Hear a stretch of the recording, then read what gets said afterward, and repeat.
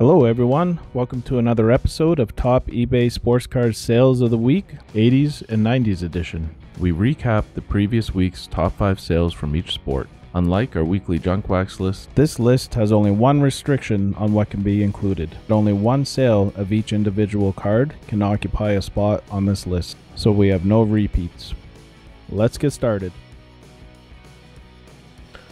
All right, starting off football this week in the number five position from 1981 Topps, we have Joe Montana's rookie card autographed. This is graded PSA authentic and is sold for $12,000. This card has a unique inscription as it's autographed and also says 4-0 in Super Bowls, 11 touchdowns, 0 interceptions, perfect. In the number four position, we have the 1994 University of Miami Bumblebee Seafoods Dwayne The Rock Johnson card, graded a PSA 9. This card sold for $15,655. This card in a PSA 9 has a pop of 30, and there are 30 higher graded 10s. This is a record for a PSA 9 as the previous high was only $4,300 from back in December. This card has been going, this card has been really hot lately. In the number three position from 1984 Topps, we have John Elway's rookie card graded in a PSA 10. This card sold for $15,865. This is the fourth highest sale for this card, as the record is $20,000 from back on December 7th of last year. This card in a 10 has a pop of 176. In the number two position from 1998 Skybox EX 2001, we have Peyton Manning Essential Credentials Now, numbered out of 54 and graded a BGS 9.5. This card sold for $19,588. This card has a low pop of only 2 and a 9.5, and there are none graded higher. And in the number one position from 1984 Topps USFL, we have Steve Young's rookie card graded in a PSA 10. This card sold for a record $20,999. This card has a very low pop of only 29 in a 10, and the previous high was $15,500 from February 14th of this year. The total of the top 5 80s and 90s football cards this week was $84,107. This is down a bit from previous weeks, however, the trend is still positive, and we'll see what next week brings us.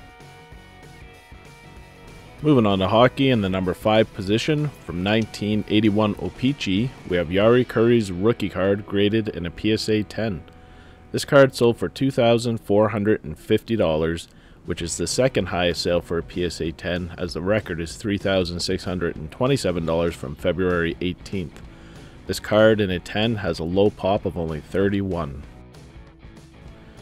And in the number 4 position from 1981 Topps, we have Wayne Gretzky's third year card graded in a PSA 10. This card sold for $2,500, which is another record, as the previous high was $2,000 from February 2nd. This card in a 10 has a low pop of only 65.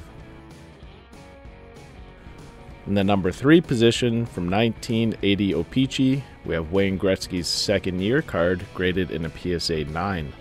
This card sold for $4,049. The pop of this card in a 9 is 246, and there are 35 higher graded 10s. The record sale for a PSA 9 is $6,900, and this is from August of last year. In the number 2 position from 1980 O-Pee-Chee, we have Ray Bourque's rookie card graded a PSA 9.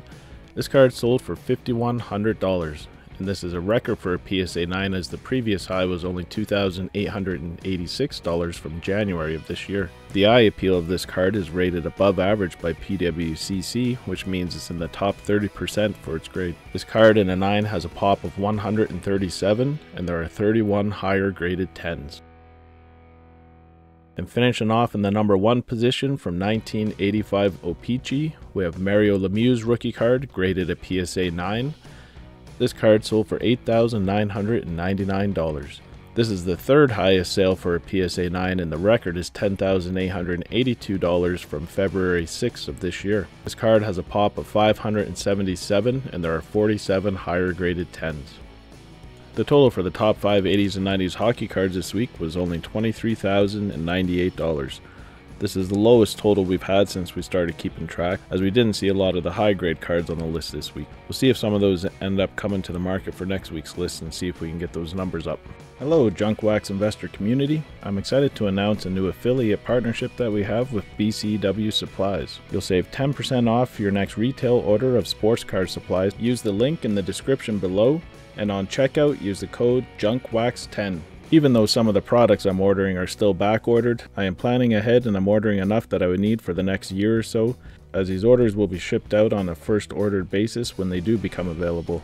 And I would rather get 10% off with this code and wait a bit than to be stuck in the position where I'm paying a markup from resellers. Moving on to baseball in the number 5 position from 1987 O-Pee-Chee, we have Barry Bonds rookie card graded at PSA 10. This card sold for $24,000, which would be a record for a 10, as the previous high was $23,350 from February 19th of this year. This card in a 10 has a very low pop of only 36. And in the number 4 position from 1989 Donruss, we have Ken Griffey Jr.'s autographed rookie card, graded at PSA 10 with a 10 for the auto. This card has a pop of 1 and is sold for $25,101. That is probably the highest price ever paid for a 1989 Donruss card. And in the number 3 position from 1993 SP, we have Derek Jeter's rookie card graded at SGC 9.5. This card sold for $27,605. This card in an SGC 9.5 slab has a pop of 7 and there are two higher graded 10s. However, there are no gold labels. And in the number 2 position from 1996 Topps Chrome, we have the Derek Jeter Refractor graded in a PSA 10. This card sold for $50,000, which is a huge record for a PSA 10 as the previous high was only $8,500 from May of last year. There's only been three sales on record for a 10, and this card has a very low pop of only 9. And in the number one position for baseball this week from 1980 Topps, we have Rickey Henderson's rookie card graded a BVG 9.5. This card sold for $95,000 and has a very low pop of only 9 with one higher graded pristine 10. Wow. The total of the top 5 80s and 90s baseball cards this week was $221,706. This is the second highest total, but it's down from last week's $327,000. Both of these high totals were headlined by a 1980 Topps Rickey Henderson rookie cards, so he has been definitely leading the charge of the 80s and 90s cards recently. Moving on to basketball in the number 5 position from 1980 Topps, we have the Larry Bird Magic Johnson rookie card with Dr. J sandwiched in the middle. This card was graded a BVG 9.5 and is sold for $65,600. This card has a pop of 25 and there are two higher graded pristine 10s. In the number 4 position from 1998 Fleer Tradition, we have the Michael Jordan Playmakers Theater numbered out of 100 and graded a BGS 7. This card sold for $65,655. The subgrades for this card are 9.5 for centering, 7.5 for corners, 7 edges, and a 6.5 for surface. This is actually the lowest graded version of this card and it has a pop of 2. There are 38 higher, including 10 9.5s and 1 pristine 10. In the number 3 position from 1986 Fleer, we have Michael Jordan's iconic rookie card graded at PSA 9. This card sold for $66,766. This card in a 9 has a high pop of 2,768. The record in a 9 is $93,999 from just back in February 9th. This card was graded a PWCC Exceptional Eye Appeal, which is the top 15% for its grade. And there was actually another PSA 9 that sold on the same day for only $49,100. So we're seeing a bit of a pullback on the Michael Jordan rookie cards. And in the number two position from 1996 Skybox EX 2000, we have Kobe Bryant's rookie card graded a PSA 10. This card sold for $87,100, which is a huge record for a PSA 10, as the previous high was $54,108 from February 1st. This card in a 10 has a very low pop of only 24. And in the number one position from 1984 Star, we have Michael Jordan's rookie card graded at BGS 8.5. This card sold for $92,500. The subgrades for this card are 9.5 for surface and edges, 9 for corners, and 8 for centering. The pop of this card in an 8.5 is 237 with 71 graded higher, with the highest grade being 3 9.5s. Another strong week for basketball this week, with the total of the top 5 80s and 90s cards being $377,621. Looks like we might be seeing a bit of a pullback in the market on some of the really hot basketball cards. This would actually be a good thing because it's a sign that we're in a healthy market and not in a bubble. Moving on to the other sports category, and we have a tie for fourth position, and we actually have a newcomer to the list from 1992 Grid Formula One. We have Michael Schumacher's rookie card graded at PSA 10. This card sold for $8,000, and this is the first time I have ever seen this card, and it has a very low pop of 4. There's only been one previous sale of a PSA 10, and that was from May of 2020, and that sale was for $100. It'll be interesting to see if we see more of this card in the future.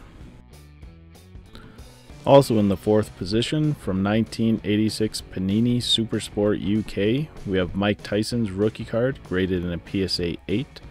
This card sold for $8,000 and is the second highest sale for a PSA 8 as the previous record is $9,000 from February 7th. This card has a pop of 20 and there are 16 higher graded 9s and 3 gem mint 10s. In the number three position from 1997 Brown's Boxing, we have Floyd Mayweather Jr.'s rookie card graded at PSA 9. This card sold for $11,100 and is a record for PSA 9 as the previous high was only $7,000 from January 29th. This card in a 9 has a pop of 35 and there are 49 higher graded 10s. In the number two position from 1987, A Question of Sport UK, we have Mike Tyson graded in a PSA 10. This card sold for $11,877, which is the second highest sale for a 10, with the record being $12,844 from January 27th of this year. This card in a 10 has a low pop of only 16. And in the number one position this week, from 1996 Sports Illustrated for Kids, we have the Tiger Woods rookie card graded at BGS 9.5. This card sold for $24,000. The subgrades for this card are all 9.5s with a 9 for edges. This card has a pop of 106, and there are 12 pristine 10s and 2 black labels graded higher. The total of the top 5 80s and 90s other sports category this week was a strong $62,977. Definitely seen some interesting mix of cards in this category.